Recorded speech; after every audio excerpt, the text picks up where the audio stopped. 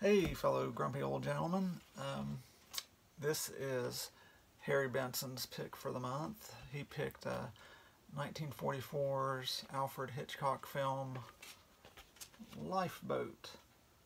And this is what I just finished watching. Uh, the the uh, laser disc. This is from 1990, I believe, a 1990 release by CBS Fox Video. I also have the Blu-ray that I bought last year and I watched it uh, when I bought this last year.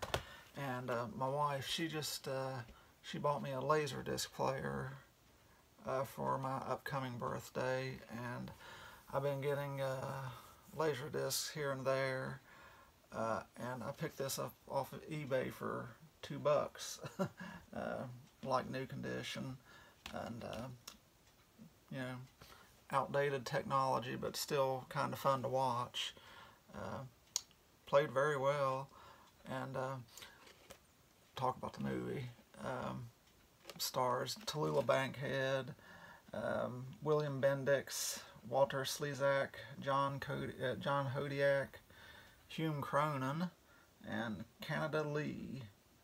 Uh, most of these people I've never heard of before except for Tallulah Bankhead and Hume Cronyn.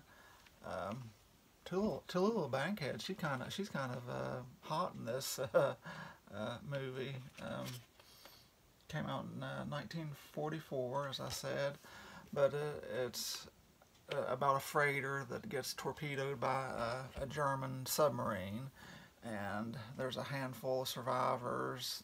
They gather in a lifeboat, and they incidentally pick up uh, the submarine commander, the German submarine commander, uh, in the lifeboat. And uh, a lot of people and critics, a lot of the Hitchcock fans have said over the years, this is less lesser Hitchcock. Uh, it's not talked about a whole lot among his most popular films, uh, but I, I, like it quite a bit. Um, it's probably just outside my top 10 Hitchcock films, probably 11 or 12.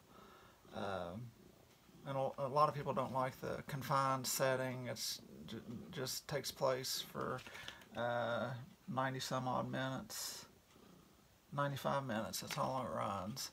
Uh, 95 minutes in a lifeboat.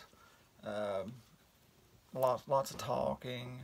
Uh, but it's it's got every it's got everything a Hitchcock film really has uh, you, that you come to expect: uh, suspense and uh, backstabbing, um, a little bit of comedy, drama, um, a few surprises along the way.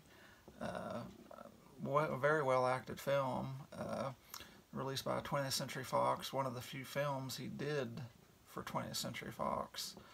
Um, but uh, really nice cinematography, um, well, well filmed. Uh, Hitchcock was known for his cameos in his films, and uh, it's amusing how uh, he, he makes his cameo in this film. Uh, it's uh, during a, his pictures in a newspaper about weight loss, a before and after picture you don't really see it until probably quarter of the way through the film, but it's an interesting cameo, I think.